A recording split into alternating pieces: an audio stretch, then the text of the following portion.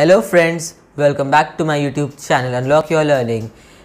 In this video we are going to solve ICSE Maths today, class 7, chapter 10, linear inequalities exercise 10b, question number 1, part 11 to 15. So friends without wasting any time, let us begin. So this is again the same question and in the 11th part we have x is greater than or equal to 4 so we'll do what is draw the number line here. I have drawn the number line here and friends now you see x has to be greater than or equal to 4 so we draw this open circle and then highlight this basically.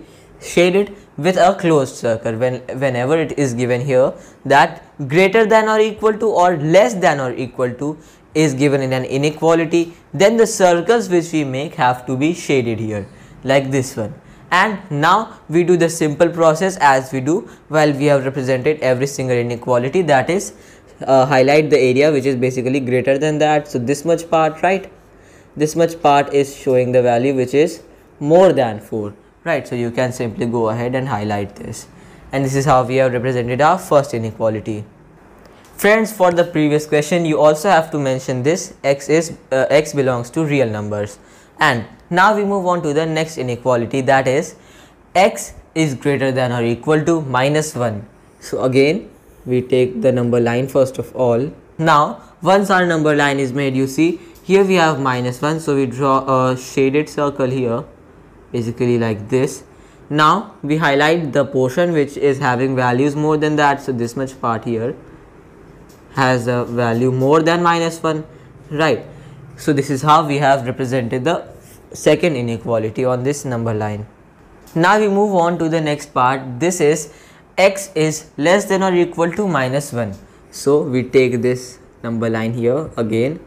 Alright, now you can see that x is less than or equal to minus 1. Minus 1 is here. Again we uh, draw this circle here and then from here all the way till this part which is showing that these numbers have value less than what? Minus 1 alright so this is how we have represented the third inequality on the number line. And now next we have 2 is less than uh, 2 is less than x is less than 5 now here what we see is there are uh, two numbers given here. So we first of all take this number line here. And you can start from anywhere. Suppose from 0 only minus 1 minus 2 minus 3 also. Here we have 1 now here you see this is a number line and it is saying that value of x has to be more than 2 and less than 5 right this is what it is saying and it is saying that value of 2 is less than x or you can say value of 5 is also for 5 is more than x. So that means we draw an open circle here first on 2 right we will not shade this circle and then the next number given here is 5 so we draw another circle on 5 but this time we shade this. Why? Because it is the second number coming here which will put an end to the value of x. So we highlight the portion between them. This much part gets highlighted. So this is how we have solved this part of the question.